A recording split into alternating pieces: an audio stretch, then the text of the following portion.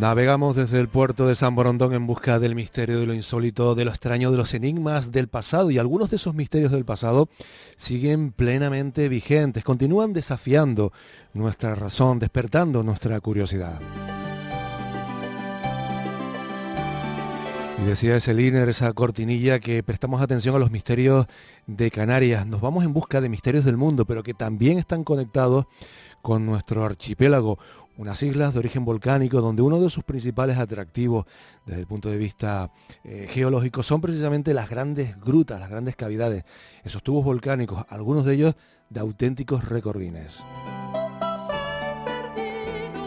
Pero bueno, no les vamos a hablar de volcanismo, eh, ni tampoco nos vamos a convertir en improvisados espeólogos, pero sí vamos a prestar atención al universo de las cuevas. Un auténtico universo, no un mundo, un universo repleto de matices. Las cuevas han sido, o en ellas se ha focalizado la entrada o el mismísimo infierno, y también a través de ella algunos han alcanzado la iluminación.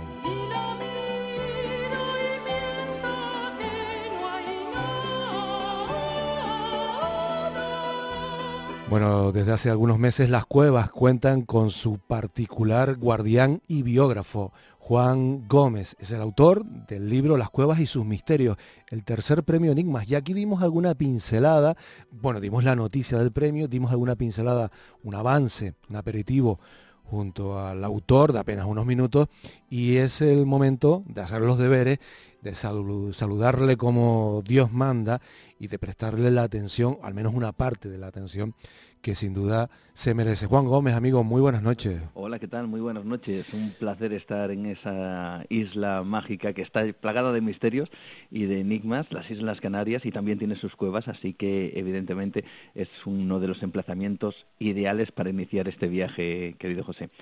Bueno, yo me imagino que, en cualquiera de las entrevistas que te han podido hacer los compañeros, siempre habrá existido una referencia a la cueva o a la gruta local ¿no? del lugar al que acudiste a presentar el libro o en el que te hicieron la, entrevista, pero la verdad es que eh, Canarias, eh, una de las características que tiene desde el punto de vista geológico es precisamente la asistencia de, cuevas que en su momento sirvieron de refugio, otras son atractivos, capaces de, de despertar el interés internacional, en algunas habitan criaturas que solo están ahí, pero bueno, estos son elementos que, se pueden encontrar o, de los que podemos encontrar cierto eco y ejemplos también en otras partes del mundo. Pero desde luego, eh, algo que nos conecta a Canarias con el resto del mundo es también la fascinación por las cuevas, por esas entradas en principio y de forma predominante al inframundo, ¿no?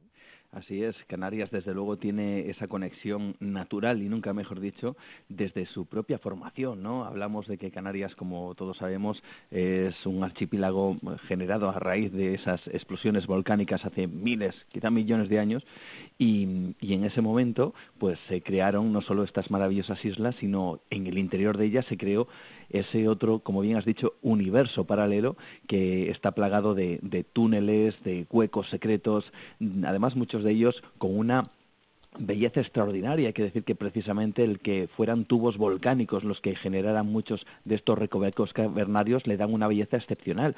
Y eso ha propiciado que desde los antiguos aborígenes ya se hablara evidentemente de que esos, eh, esos lugares formarían parte de entradas, quién sabe si a otros mundos, ¿no? Bien pudiera ser al mundo subterráneo, al inframundo, a lo que los, eh, los antiguos mayas llamaban el Xibalbá, ¿no? Precisamente allí enclavaban esas entradas al, a su propio universo paralelo que sería como una especie de infierno, ¿no?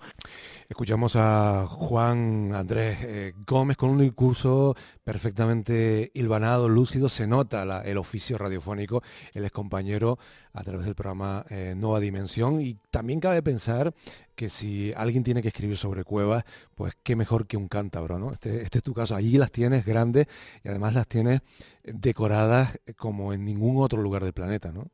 Desde luego la cornisa cantábrica y el sur de Francia es cierto que eh, tienen ese tesoro cultural y enigmático al mismo tiempo, ¿verdad, José Gregorio? Que son que son las pinturas rupestres. También en Canarias los hay, ¿eh? También en Canarias, por supuesto, dejan esos vestigios los antiguos pobladores de esas islas. Pero es cierto que en la cornisa cantábrica nos encontramos con las pinturas más antiguas, aparentemente y hasta día de hoy, datadas y descubiertas por la humanidad. Lo que ocurre es que ha habido varias humanidades, según los arqueólogos, varias especies de humanos y nos podemos encontrar con la sorpresa, y así ha sido hace recientemente, y, además eh, casi casi predico en el libro el, hallazgo que se ha publicado en la revista Science acerca de que otras humanidades habían tenido esa vamos a decir que ese pensamiento simbólico, esa concepción del arte más allá del Homo sapiens, que serían nuestros ancestros, incluso nosotros mismos. En Cantabria nos encontramos lugares cavernarios qué decir, ¿no? Las, eh, la cueva de Altamira, por ejemplo, casi emblemática para el mundo de, de, la prehistoria y también para el misterio, porque lo tiene. Nos encontramos con la cueva del castillo, que yo hablo además eh, un capítulo eh, centrado precisamente en ese lugar que tiene también esas mismas pinturas, esos mismos vestigios del pensamiento de nuestros ancestros que a día de hoy no sabemos y no adivinamos exactamente qué es el, lo que nos querían decir o cuál era el significado real de ciertas pinturas que somos capaces de reconocer, hay que decirlo, porque porque vemos, por ejemplo, bisontes, ponemos eh, el techo famoso de Altamira y vemos bisontes y lo reconocemos al momento, pero fíjate, fíjate bien, eh, hay más cantidad de pinturas de las cuales no tenemos ni idea de lo que significaban, de las que sí lo tenemos, es decir, de los llamados eh, zoomorfos, animales que podemos reconocer, sin embargo existen otras que son absolutamente, yo diría que incluso inquietantes en algunos momentos. ¿no?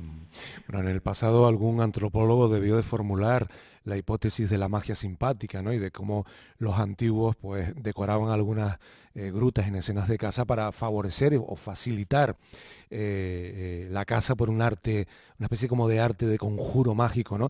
Yo no sé si esta hipótesis sigue vigente o si tú la, tú la mm, le, das margen y vigencia, pero lo cierto es que como tú bien indicas, en, este, en estas cuevas hay mucho más, muchos más motivos, eh, que desatan la imaginación y que mantienen las incógnitas abiertas. Y de hecho, en muchas de estas grandes grutas existen pequeños recovecos, reservorios, a los que prácticamente no se puede eh, acceder y que tú planteas que además de poner a prueba la forma física de, aquellos que accedían, lo cual nos puede llevar a pensar una especie de rito de paso, pues también tiene una serie de motivos que parece que inducen a pensar en, en ideas eh, trascendentes, o al menos en, un indicio de, latencia de la trascendencia. ¿no? Fíjate, hablabas tú al principio de, de, esa, de esa, idea de la, de la magia ritual en la cual eh, los antiguos pobladores buscarían plasmar en las eh, paredes de esas mismas rocas, pues quizá eh, las pinturas de un bisonte o de algún animal que, que, les propiciara la caza, ¿no?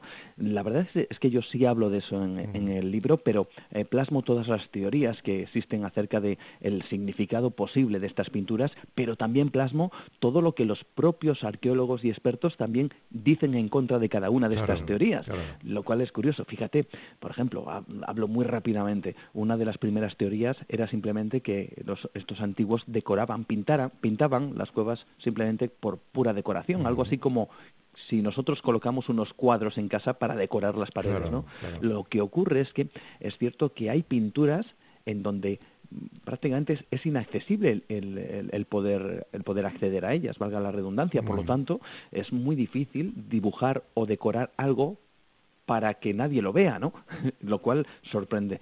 Eh, también incluso la teoría del, ritual eh, simpático para la caza tiene también sus detractores, porque esto es interesante. Y es que es cierto que estos antiguos cazaban y, buscaban el alimento en, los animales que tenían por la zona y que se movían con ellos y van viajando como nómadas de cueva en cueva. Pero es cierto que si esto fuera así y solamente fuera ese el motivo, eh, ¿por qué no dibujaban otro tipo de animales?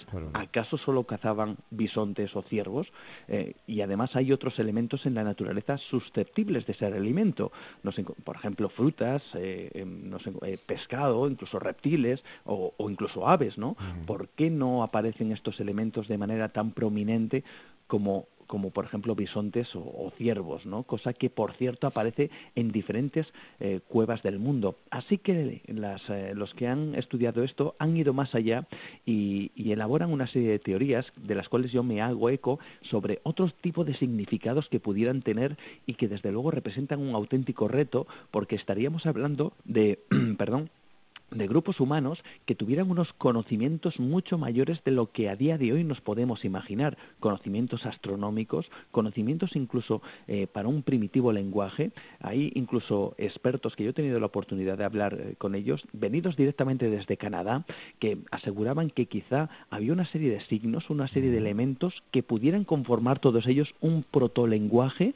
Eh, por lo tanto, estaríamos hablando desde luego de una, mm, unos grupos humanos que tendrían unos conocimientos mucho mayores, además de participar de la mística, de la magia, de los rituales, evidentemente, que se darían en esa época. Por lo tanto, estamos hablando de grupos humanos no tan primitivos como imaginamos, sino mucho más eh, llenos de conocimiento. Bueno, las cuevas entradas al infierno, entradas a, ámbitos eh, poco deseables y al mismo tiempo espacios donde se manifiesta eh, la, divinidad y donde se la invoca para conseguir pues bondades para uno mismo o para la comunidad. Es curiosa esa ambivalencia, ¿no?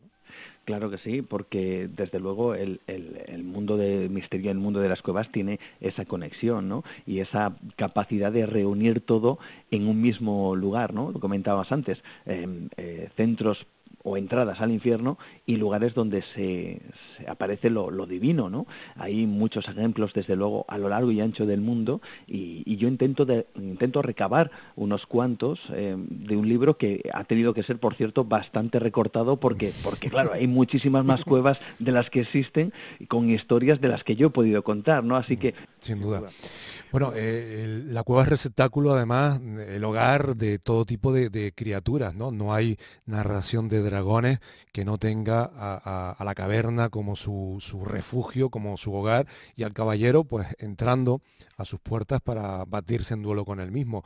Pero eh, también es el hogar de gigantes, y hay una cueva a la que tú le dedicas eh, atención y espacio en, tu libro, en Honduras, que se caracteriza eh, precisamente por acoger una larga tradición sobre la posibilidad de haber sido habitada por gigantes. Mm, así es, la cueva precisamente llamada de, del gigante, ¿no? En Honduras. Es un lugar excepcional y además es un lugar único, por lo menos en, ese país, porque es el enclave eh, arqueológico más importante de Honduras. Hablamos que allí, precisamente en esa cueva, se han encontrado vestigios de hace unos 15.000 años, que hablando precisamente de, Latinoamérica, es casi casi una barbaridad, ¿no? Pensar en que alguien estuvo hace 15.000 años por allí y efectivamente así quedan los vestigios, ¿no? Pero yo voy incluso más allá, porque no solo hablo de, esta cueva, sino que hilo una historia que viene directamente enlazada con los que ya pintaban en cuevas como Altamira. ¿no? Fíjate, en esta historia de gigantes, eh, los arqueólogos eh, descubrieron algo realmente inédito, y es que en la mayoría de las mm, cuevas rupestres o con arte rupestre se encontraron una serie de eh, seres antropomorfos, todos ellos dibujados o plasmados en lo más profundo de las cuevas. Es decir, para los expertos, y no lo digo yo, cualquier experto en antropología o en prehistoria te, te dirá lo mismo que voy a contar ahora, y es que estos eh, seres extraños estaban colocados en ese lugar porque a los grupos humanos que los dibujaron les daban un profundo pavor, un profundo miedo, y de alguna manera querían esconderlo en lo más profundo de las cuevas. ¿no? Eh, yo elaboro la teoría, la idea de que quizá estos seres pudieron ser algún tipo de, de, especie aún no descubierta, quién sabe, ¿no? Más allá de, las famosas y, quizás redundantes teorías de, las visitas de otros lugares del universo, ¿no? Y claro, porque todavía queda mucho por descubrir de, esa historia antigua. Y quizá estos seres a lo largo del tiempo se fueron disgregando, fueron eh, moviéndose por, por, el planeta hasta desaparecer. Incluso es muy probable que quizá estos mismos seres crearan sus comunidades, em, comunidades que al final eh, formarían parte de los mitos y las leyendas de muchas tierras perdidas, en las cuales Canarias, evidentemente, también, como bien sabes, está muy influenciada por el mito de, del el mito atlante, ¿no? El caso es que todos estos eh, seres aparecen en diferentes culturas y entre ellas, evidentemente, las culturas que estaban en Latinoamérica, ¿no? Pero también en Norteamérica. Los, los navajos, por ejemplo, hablan de los naulos, unos gigantes blancos. Los, eh, por ejemplo, ahora mismo recordar los payutes, también hablan de los sitekaj, que les llamaban los gigantes blancos de pelo rojo. Eh, en diferente, incluso en España, en la zona norte y sobre todo en Cataluña, aparecían los ligures, que eran una suerte de, de seres trogloditas que mm, tenían una gran fuerza física, incluso se decían que eran capaces de desplazar rocas con sus propias manos de varias toneladas. Mm. Claro, eso es lo que eh, cuentan los mitos, ¿no? Así que eh, en búsqueda de estos gigantes me dirigí a ciertos lugares, entre ellos ahí está ese enclave Honduras, donde dicen precisamente que allí algunos de estos seres recalaron y habitaron en cuevas. Una de ellas pudiera ser esta cueva del gigante en Honduras y los mitos que cuentan en esa zona es que estos gigantes quizá eh, prehistóricos, pero que quedaron anclados en los mitos, se medían, dicen que en fuerza, en resistencia y en potencia física a la megafauna que había en ese lugar. De hecho, fíjate, se encontraron restos de, grandes huesos en el interior de esa misma cueva del gigante en Honduras y al principio creyeron que eran los restos de estos auténticos hombres que además denominaban que eran blancos, al igual que otros tantos mitos. ¿no? Luego se descubre que estos huesos que fueron descubiertos de verdad eh, pertenecían a esa, esa antigua megafauna, ¿no? pero los mitos hablan de esos gigantes que habitaban en esa cueva y que se medían, que luchaban y que peleaban contra esta gran y gigantesca fauna que dicen que habitaba en ese lugar.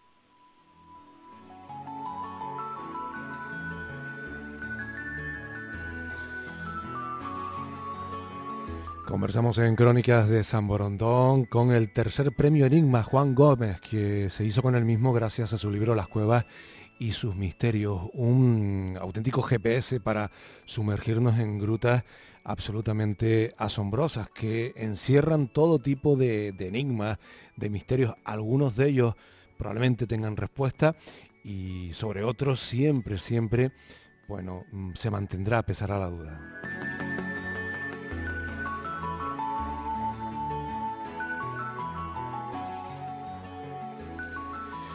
¿Tú crees, Juan, que los eh, retratistas australianos de la cueva de Kimberley realmente eh, plasmaron en las paredes de su cueva lo que vieron físicamente? Pues em, fíjate, lo que dicen los mitos no es que ni siquiera en la cueva de Kimberley, que está en Australia, viajamos ahora mismo a las antípodas del mundo, eh, los antiguos aborígenes australianos, ellos eh, afirman que en este lugar, que fue redescubierto, vamos a decir, por el hombre blanco, además a principios del siglo XX, por un explorador que llegó a esa zona, a la zona precisamente de Kimberley, de ahí la, cueva se llama la cueva de Kimberley, y, y lo que cuentan los aborígenes y además lo siguen manteniendo a día de hoy, es que generación tras generación estos seres que están dibujados en esa cueva, que para quien no lo conozca son prácticamente, y lo único que aparecen son caras, caras, enormes, gigantescas, eh, redondas, con unos ojos negros y enormes en comparación desde luego con lo que podría ser un ser humano. Además son caras que son inquietantes porque no transmiten ningún tipo de emoción, miran directamente a la persona que les observa y a mí me da la sensación, y así lo pongo en el libro, que en realidad parecen más que representaciones simplemente de unos antiguos dioses, parece que esos dioses que están dibujados ahí nos vigilan, porque es una sensación absolutamente eh, tenebrosa en muchos casos. Además, esas figuras están dibujadas con, algunas de ellas con vestimentas, incluso con calzado, algo inexplicable teniendo en cuenta que los antiguos aborígenes de esa zona jamás utilizaron ningún tipo de calzado, más si cabe cuando estas caras estas eh, pinturas, son blancas, lo cual no corresponde con lo que un aborigen habría visto a lo largo del tiempo. ¿Qué es lo que dicen sobre estas pinturas? Bueno, pues los antiguos pobladores y como digo, y los modernos que mantienen su vida por esa zona, afirman que fueron los wandingas, es decir, estos dioses que llegaron un día que les dieron los conocimientos, les dieron la capacidad para la agricultura, la ganadería y les dieron una serie de elementos para poder sobrevivir y subsistir, pues llegaron desde un lugar indeterminado de la Vía Láctea. Eso es lo que dicen los aborígenes, con lo cual desde luego conectamos con muchos mitos de esos dioses venidos de las estrellas, ¿no? Bueno, pues para rizar el rizo en todo esto, José Gregorio, mm. lo que dicen es que no fueron pintadas por los aborígenes, sino que esas caras fueron pintadas por los mismos wandingas. para que se recordaran, para que ellos fueran recordados en las futuras generaciones. De alguna manera, los dioses se pintaron a sí mismos en esa cueva, en la cueva de Kimberley. Dicen eh, los, eh, los aborígenes que una vez hecho esto y una vez aparentemente conseguido el objetivo de estos dioses, algunos viajaron de nuevo a ese punto determinado de la Vía Láctea y otros, y aquí viene la sorpresa, atravesaron las paredes de esa cueva para viajar a otro mundo, ¿no? Lo cual es absolutamente fascinante. ¿Cómo llegan estos mitos, cómo llegan estas historias a los aborígenes? ¿Cómo son capaces de inventar algo así, ¿no? Quizá hay una base real eh, en donde puede que con el tiempo se haya distorsionado un poco la, realidad de todo esto, pero es cierto que este mito está ahí y esas figuras, esas caras que yo animo a todos los oyentes a que ahora mismo entren en Internet y busquen Cueva de Kimberley, absolutamente se van a quedar alucinados al ver esas caras blancas, grandes ojos negros que miran de manera inquietante al espectador y que dicen los aborígenes, aseguran que fueron pintados por los mismos dioses guandingas. Y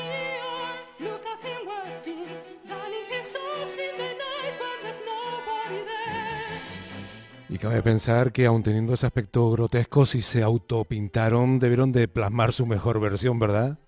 Así es, ¿no? O, yo siempre he pensado una cosa, o, eran así realmente estos dioses, o tenían muy pocas eh, artes, vamos a decir, artísticas, ¿no? Los pobres, ¿no? Eh, igual se pintaron y dijeran, no pintamos más prácticamente la cara y, solo cuatro con el, con el cuerpo porque nos está saliendo fatal, ¿no? Bueno, yo no, lo sé, pero el caso es que los, los mitos eh, se quedan ahí, ¿no? Y como tales hay que tomarlos, evidentemente, con precaución, pero maravillándonos al mismo tiempo de que hay ciertas cosas que, como se suele decir en el mundo, del misterio no cuadran, no casan. Y esta, la cueva de Kimberley, es una de ellas. Oye Juan, no, tenemos demasiado tiempo, pero no, quiero despedirte al menos en esta, en esta primera aproximación en profundidad que estamos haciendo eh, de tu libro, sin mencionar una serie de cuevas, de grutas eh, a las que la inmensa mayoría de, de, los mortales jamás vamos a poder tener acceso, y son esas grandes cavidades submarinas que acumulan muchísimos tesoros, literalmente hablando, como con esa concepción que podemos tener desde el punto de vista de la fauna, de la propia flora marina, en fin, de todo, ¿no? Desde luego que sí, porque no solo las grutas o las cuevas están, vamos a decir que por encima de la superficie, en las montañas o abrigos de roca, sino que también están por debajo y estas están inundadas por agua.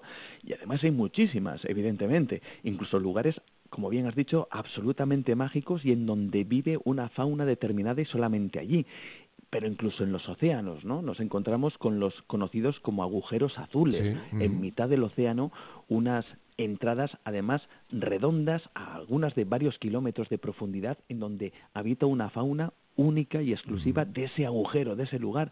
Y cómo no, todos ellos también tienen sus historias y sus enclaves, pero quizá hay uno de ellos y es precisamente el que se sitúa en, eh, casi casi eh, frontera entre Turquía y Egipto. Hablamos del el agujero azul de Dahab, porque se contiene muchas historias, muchas leyendas y además es un lugar en donde los buceadores pues tienen la oportunidad de, como bien dices, de encontrar ese mundo mágico y único, ¿no? Lo que ocurre es que en ese agujero azul de Dahab también nos encontramos el misterio, las desapariciones de buceadores y la muerte. Lo que más sorprende cuando uno llega allí es la cantidad, casi casi como si fueran lápidas, de placas que se han colocado de las personas que han desaparecido en ese punto. Fíjate, las autoridades allá afirman que son cerca de, una cincuentena, de unas 50 personas aproximadamente las que han desaparecido allí, pero lo extraoficial habla de más de 100. ¿Por qué hay esta diferencia? Bueno, porque de esos 50 en adelante no se han encontrado ningún tipo de resto. Han desaparecido prácticamente como si se volatilizaran, en este caso, en el interior de ese lugar, de ese enclave. ¿no? Y yo hablo precisamente en el libro de una persona que graba con su cámara, entra en ese agujero y por desgracia fallece. Lo que ocurre es que graba con su cámara su propia muerte y lo que se puede ver en esa cámara es absolutamente espeluznante. Una persona, un ruso, un instructor de buceo con muchísimos años de experiencia, llamado, llamado Yuri Lipsky, graba con su cámara lo que sería su último buceo. Eh, se adentra de manera precipitada hasta los más de 90 metros de profundidad, que es una auténtica barbaridad. ¿no? y, y además durante el trayecto se le oye a él gritar durante varias veces ayuda, help, ¿no? Un grito casi agónico, desesperado, mientras algo parece succionarle hacia el fondo, ¿no? Eh, la cámara, por desgracia, no capta exactamente bien todo lo que rodea a Yuri Lisky mientras eh, va descendiendo hacia la muerte, eso es cierto, pero sí se aprecian cosas realmente extrañas. Incluso el vídeo, que mm, para mí, bueno, pues eh, seguramente por no ser un experto en, en espeliobuceo mm, pasaría muchas cosas desapercibidas. Los expertos que sí analizaron el vídeo descubrieron, por ejemplo, y se quedaban anonadados, al, incluso hablaban a la propia cámara, decir, ¿por qué no se ha parado aquí? ¿Por qué en una repisa determinada no había dejado de descender? ¿Por qué? ¿Qué, qué era lo que le arrastraba hacia el fondo? ¿no? Junto a él, como digo, más de 100 personas desaparecen en ese lugar hasta la fecha, lugar que por cierto, quizá por su leyenda negra o su maldición, sigue atrayendo a gran cantidad de buceadores que buscan en este lugar la belleza obvia de, de un agujero azul, pero quién sabe si también descubrir el secreto de por qué tantas personas desaparecen en ese mismo punto.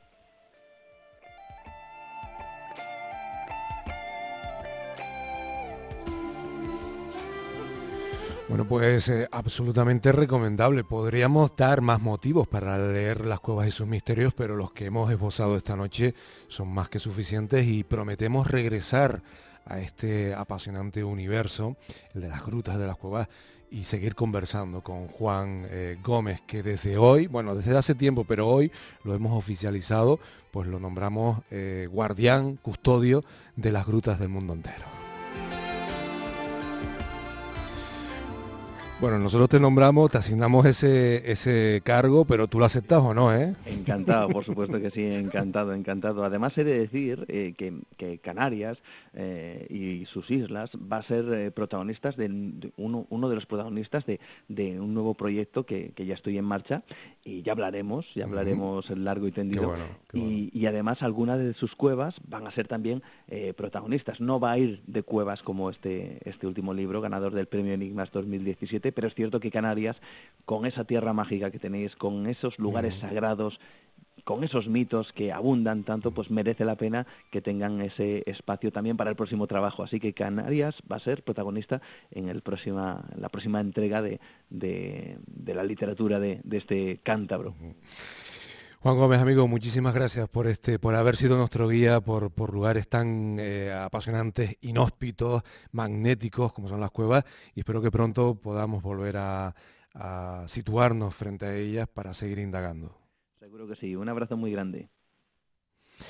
Bueno, pues no dejen de leerlo. Tercer premio, eh, Enigmas, las cuevas y sus misterios, editado por Lucierna, que llevaba prólogo del bueno de José Manuel García Bautista y tiene una cantidad eh, increíble eh, de contenidos a cual más apasionante e interesante. Esta noche, en apenas media hora, hemos esposado algunos de ellos.